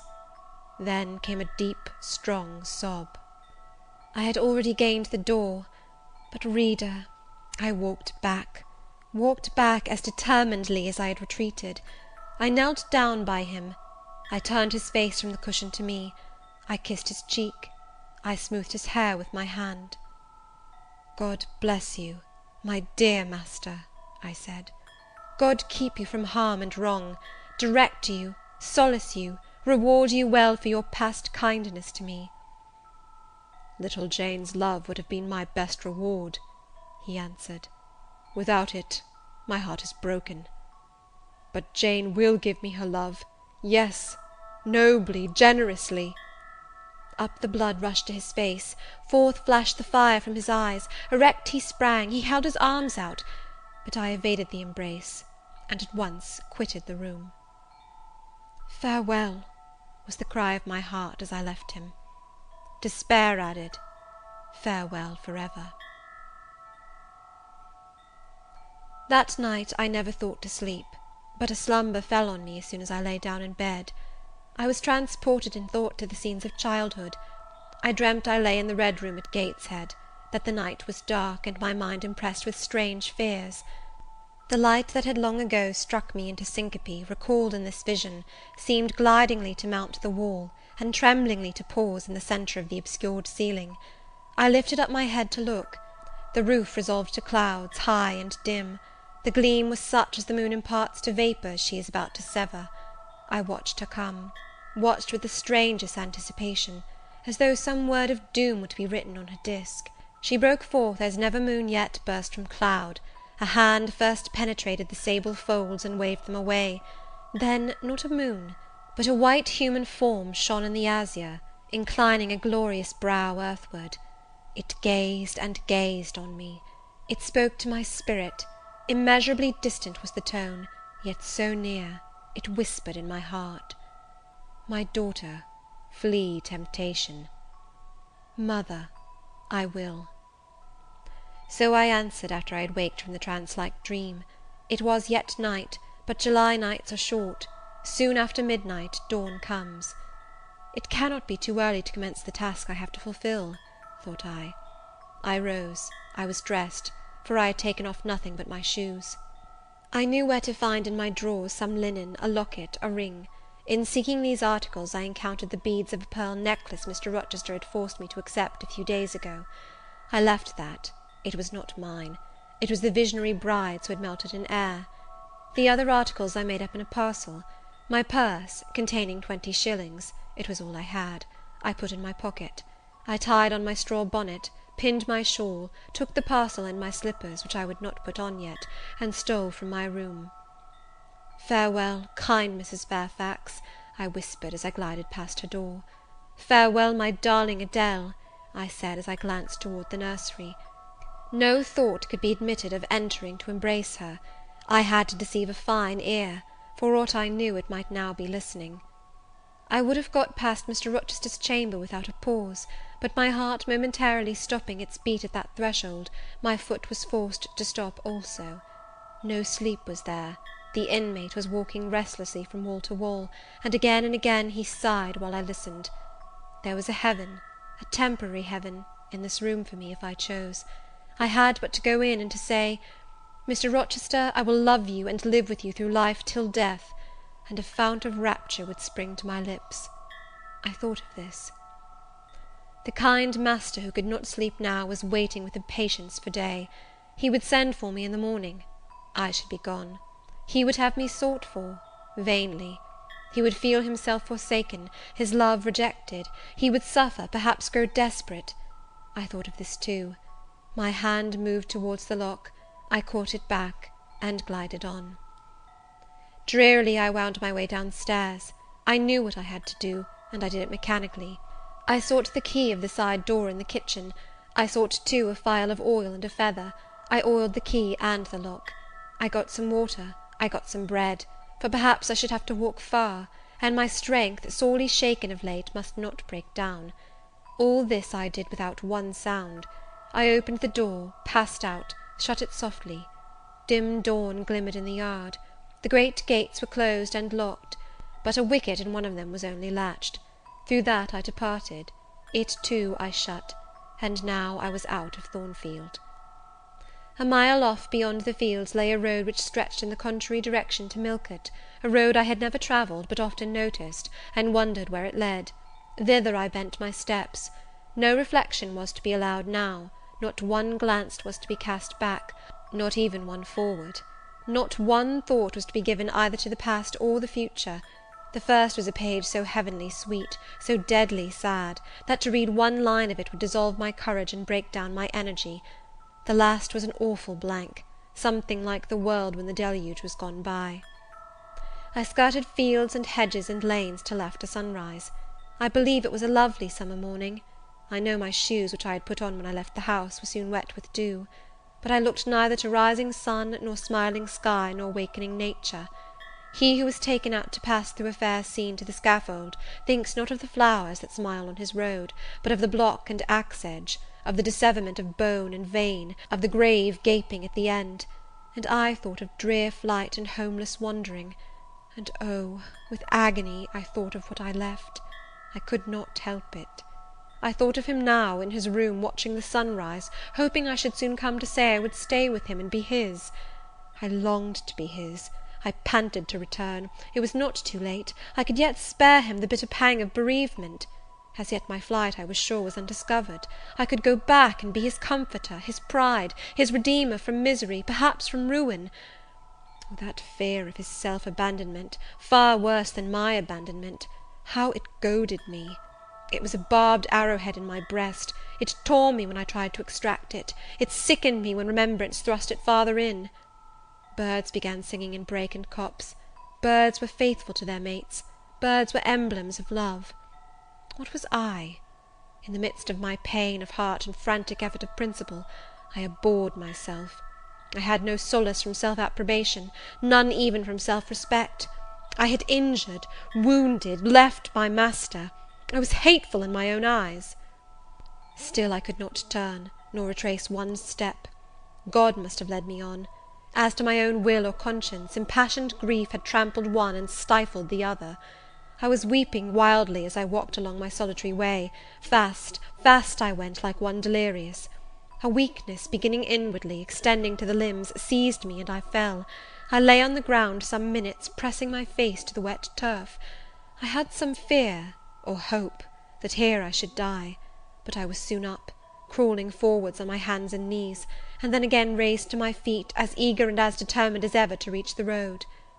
When I got there, I was forced to sit to rest me under a hedge, and while I sat, I heard wheels and saw a coach come on. I stood up and lifted my hand; it stopped. I asked where it was going. The driver named a place a long way off, where I was sure Mr. Rochester had no connections. I asked for what sum he would take me there. He said thirty shillings. I answered I had but twenty. Well, he would try to make it do. He further gave me leave to get into the inside, as the vehicle was empty. I entered, was shut in, and it rolled on its way. Gentle reader, may you never feel what I then felt! May your eyes never shed such stormy, scalding, heart wrung tears as poured from mine! May you never appeal to heaven in prayers so hopeless and so agonized as in that hour left my lips; for never may you, like me, dread to be the instrument of evil to what you wholly love. End of Chapter XXVII.